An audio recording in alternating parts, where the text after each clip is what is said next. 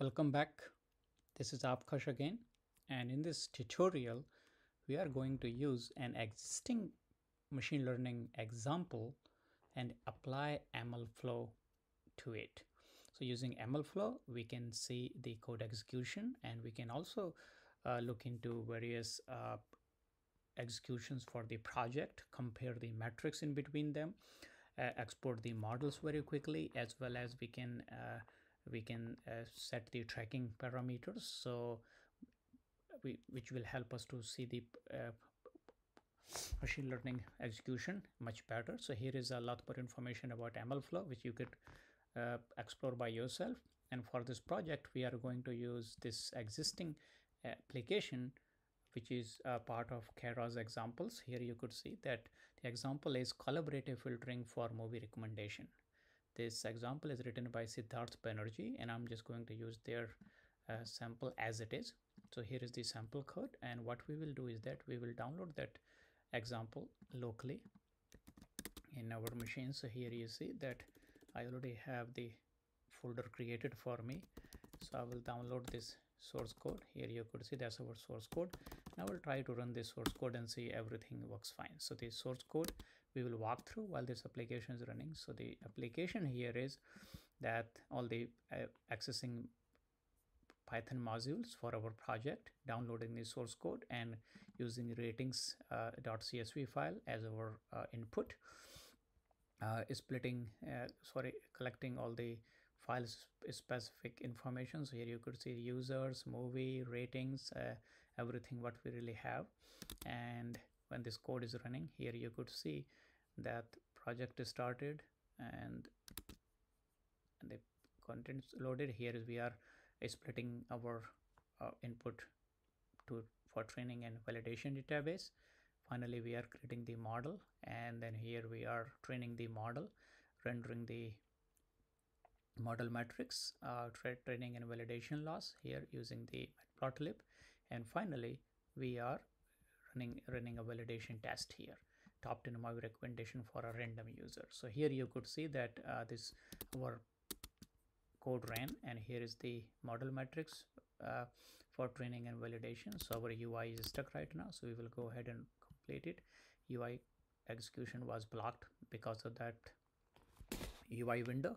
So we will remember that thing because we should not use that in our MLflow example. So we will hide that so here is your code execution. Everything went well. Now in same example what we will do is that we will create environment file. One is called uh, ml project and another will be conda.yaml so conda environment we will be using for our uh, mlflow project environment and ml project is the file which will launch uh, this conda environment as well as uh, finally when the conda environment is ready then launch our uh, python command line to make it start and then we will use MLflow UI to see the tracking various uh, model metrics and the code execution as it progressing. So once we have created these two files, now we will try to build the Conda environments. For that, uh, I already have an example here. So our Conda, here you could see that Conda YAML is really look like that way. So vi Conda, okay.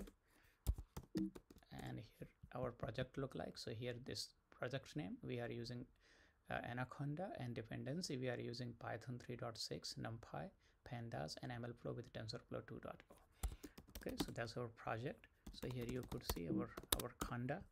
Okay now we need to do the project. So ml project. So here is our ml project. I already have a sample created. So here we will use uh, ml project okay so here you could see that we are using conda environment as conda.yml and we are uh, uh, launching command as python and our project file name which is the entry point. Very simple uh, configuration. There is not a lot to really remember. So we were going to see that thing. So here is you could see the ml project and conda these two. And then finally our project which is this so which we have to edit next. So now with that thing we we could see that our environment is ready. Now we are going to edit this uh, collaborative filtering movielens py for this reason we what we will do we can open this is our file. All the information we as you could see is available here. So what we will do in this project is that we will add required module first. So required modules we really need it here. So project starts and here you could say we are going to add modules for that. So first we need import mlflow dot tensorflow. And once we have mlflow dot tensorflow so mlflow dot tensorflow dot au auto log. So this is our requirement here. So this will say okay tensorflow start and one more thing what we will do is that remember we have uh, seen the model metrics ui which was uh, launched when application was running. So we will try to hide it because we don't want to really see it. Otherwise it will block the code execution. So here is the matplotlib where it's used. And if we look into the project it'll at the very bottom actually i will go very very bottom. And here you could see a little up because this is the place where the test is and here is the area where so we will do this this this. Okay there you go. So we have block we have commented the all the matplotlib really specific code. So we will be showing that as we have saved it. So now that's pretty much example code we have. If we want to see that code we could actually see. So here we have a stash uh, work stash and this is our code. So now you could see in an editor mlflow autolog. So we have done mlflow tensorflow mlflow tensorflow autolog. Okay and code is we haven't made any change. You could do um, various changes. However just to make it uh, a project simple we have just made those changes there is one thing you could do is that uh, is that change the parameters up in a way that you can pass them through the command line here if you would like to pass the command line here or while you are running the projects then you could really change the command line. So you could keep them separate. But for this uh, sample uh, example we are just trying to make these two changes and blocking the matplotlib. And once that change is done now we will launch our application. So here are the changes. What we will do we will split uh, word uh, horizontally our screen so we have two screens and here we will say work dash we are same place. So very first thing what we will do is that we will launch the ml flow ui so ml flow ui will start here and we will see that how ml flow ui is running. Okay we can go look into local host. 5000 and you could see that ml flow ui is running in this in this area. We can see here you could see the ml runs. This folder is created when we started ml flow. So that ml flow ui we have here. Okay so far there is no uh, code execution because we haven't even started in this project. Next what we do we will run ml flow run and local so it will launch this ml project here. Ml flow run. Very first thing what it will do it will look into the conda environment because that's first to start then once conda environment is ready then it's really going to launch the code. So here you could see the is creating the conda environment. At this point we will see our project and you could see that okay project entry is added. It means project has started. Um, the user and source folder is stash where is running and as you see ml runs zero which is like this ml run folder zero. So if you are interested to see more about it we can actually see that there will be a folder called zero here okay so when it's running okay still uh, this uh, code shows that uh, the conda related uh, environment is conda specific environment created. When we click here we will not see any parameters. It means the source code execution related with machine learning project has not started yet. So we will go back.